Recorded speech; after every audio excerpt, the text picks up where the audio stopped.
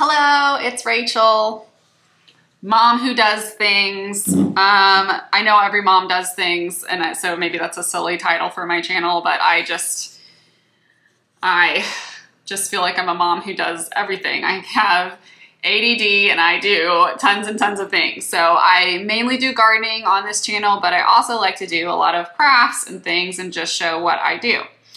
So one of the offshoots of gardening or just, I mean, not offshoots, it's a part of one of the mini crafts. I have about, I have like 10 or 15 crafts going on at this moment and most of them are very big crafts. So like, this is one of the smaller ones that I'm going to show you. Um, let me just dive right in because I'm already, I can tell my brain's already just going all over the place. instead of concentrating on what I need to tell you. Okay, so I got uh, these shoes on sale. They are Dr. Scholl shoes. I love Dr. Scholl shoes. I wear them all the time. Um, and I love little winter boots. However, I don't wear black like ever. Um, I have some black things in my wardrobe. I just don't, I don't like to wear it. It kind of makes me feel a little down when I wear it. So I usually wear brighter colors um, and have very little black in my wardrobe.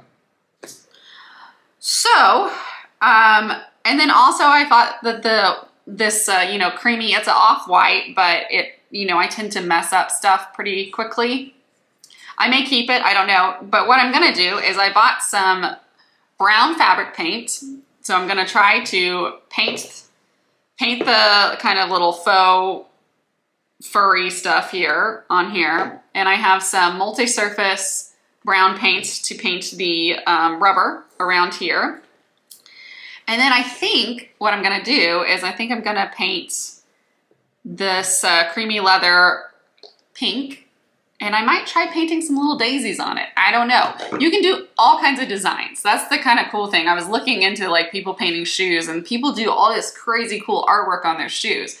I'm not gonna do crazy cool artwork today. I think I could if I put my mind to it, but I just, uh, I kind of, that's not the vision I have for these boots right now. Um, maybe there'll be another pair of shoes that I want to do some kind of intricate type henna design on some or something like that. I do love stuff like that. Um, and then I got some brown velvet, which I think is more orangey, and I might not use these. I um, these are new laces. I have some um, other brown ribbon. They're kind of like uh, clear or not clear. They're like, you know, gauzy, uh, gauze type, um, really chocolatey brown uh, ribbons that I think I probably will use. They just haven't come in the mail yet. So anyhow, um, I'm going to go ahead and get started on painting these um, and see where this takes me. Okay, so jumping right into it, I'm just unlacing it. Uh, what I should have done is use, um, clean these down really well, and I didn't do that before I started, um, which was a mistake. Uh, here you can see that I'm using the uh, jacquard, I think is how you say that, say that textile. It's uh, um, for natural or synthetic fabrics. And I made a mistake with this as well. I just bought way too dark of a color. Going onto the black fabric, that the fabric was very absorbative and it would just suck the the any paint I put on it up right away.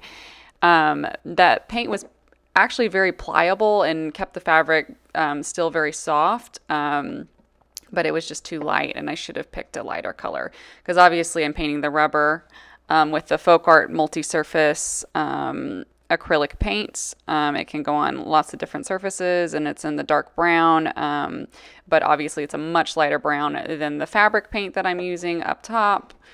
Um, and I just should have picked a, um, a lighter brown. I For the, the fabric paint, I picked the 120 brown and that was just way too dark. I didn't really look around to see if there was a lighter color.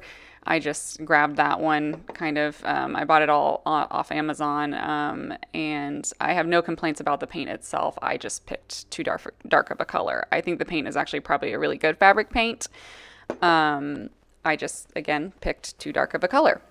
So, uh, in painting shoes, this was kind of the number one brand I saw being used, um, the Angelus uh, brand, and uh, I had a ton of reviews, and I'm pretty happy with it.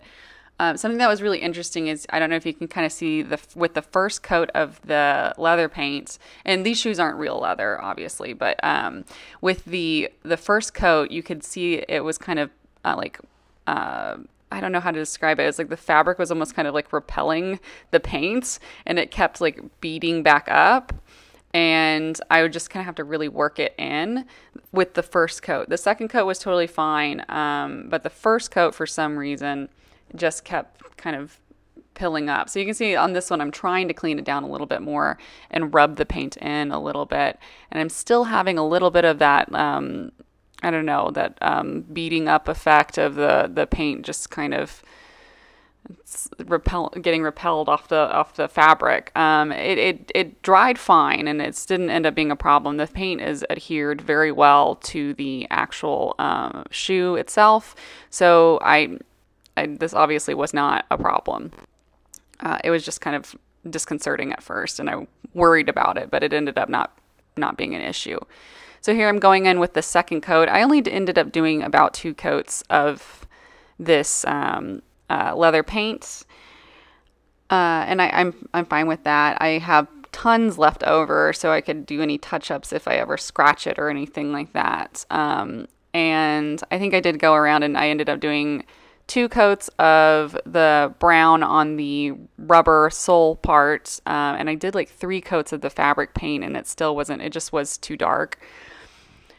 Um, but uh, then I had to go around and do touch ups with the other paint areas that I kind of, as you can see, I'm getting uh, some pink on the uh, rubber uh, sole portion and stuff. So I ended up having to go around and touch up all those things. But all in all, I did about two coats, and I it and it looks great. It's very opaque um, and covered really well. Um, yeah, so I'm I'm really happy with just how far it went, um, and um, the the coverage I got out of it.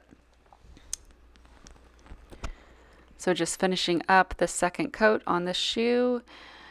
Um, I did get a lot on the grommets, but I plan on scratching that off later. Um, I'm trying another coat of the fabric paint. It's just not really showing up because I picked too dark of a color. Again, no fault of the product ex- itself. It just was too too dark. Um, here I am going in with a uh, the cream of the Angelus paints. Um, it's still for the acrylic leather, um, and I got a uh, old um, like frosting piper uh, kind of tip, and I'm using that to uh, make the perfect little circles for the little flowers that I'm painting on here. And then I'm going to go back in with my brush and fill those in. So I was really happy with this method. It worked really well. Uh, they even my husband thought that I'd put like little stickers on or something because he was like, "Oh, they looked so neat and perfect." Um, normally, my hand is not that steady, so um, I, I definitely recommend this method of, of helping you map out where they're going and how big each circle is going to be. You know, the uniformity of using that uh, piping tip. You can use anything, you know, obviously. Um, but that was the size that about the size that I wanted. So I was I was very happy with that method.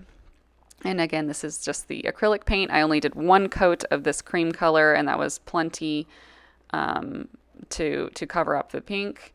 And I'm going back over. Uh, I don't. I didn't want to buy a whole bottle of green Oh, real quick, this I did not end up using this. This got mixed reviews on Amazon. This uh, it's the matte acrylic finisher. People for for one said it wasn't actually that matte, and then also um, a lot of people said it was still tacky uh, for for months after use. So I ended up not putting that on the shoes. Uh, my shoelaces that I ordered still had not come in the mail, um, so I ended up just putting some ribbons on.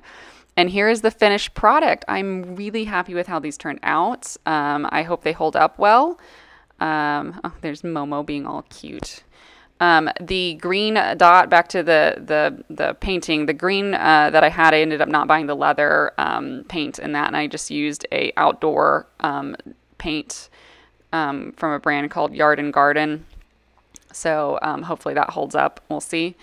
Um, but anyhow, I really love these. They look very 70s ish to me or something. I don't know. I just, I really, um, I'm very happy with them. I'll definitely wear them out here soon. Um, I will say that the where the um, underneath where the laces are, the painted um, I, what, I don't know what part of that the shoe that's called, but that rubbed and made a squeaking sound on the underside of where the laces were at. So I think what I'm going to do is I'm going to uh, put a little uh, glue down a little piece of like felt or fabric or something to stop it from rubbing the leather from rubbing against itself and making that squeaking sound. And that's definitely because of because of the fact that I painted it and it just has a different it doesn't glide over itself like it, it would have um, if it wasn't painted. So just FYI, if you um, paint shoes, you know, and there there might be uh, any spots where the painted leather might rub on other parts of the shoe, uh, it might make a squeaking sound. but I think it's very easily fixable um, for for this shoe at least. Um, so I have full confidence that I'll be able to get that to stop doing that. But this is how they look. Uh, I think they're really cute. Um, I'll see. I'll see if other people think they're cute. I don't know. Maybe you know everyone's taste is so different. Maybe people think I ruined these or something, but I think I made them really cute for me. I like them a lot. Um, they're very, very much something I I find adorable and cute and want to wear. So anyhow, I hope y'all enjoyed this video and got some inspiration out of it. Um, even if you don't like what I did to the shoes, maybe it inspired you to do something to your own shoes. So I hope y'all have a wonderful day and I will see y'all in the next video. Bye.